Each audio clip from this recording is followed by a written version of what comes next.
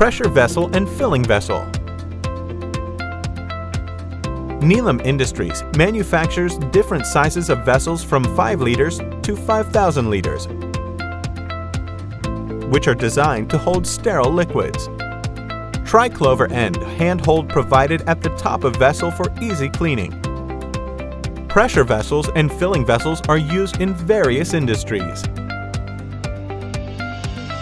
Thank you for watching this video. For more information, visit our website www.neelampharmamech.com.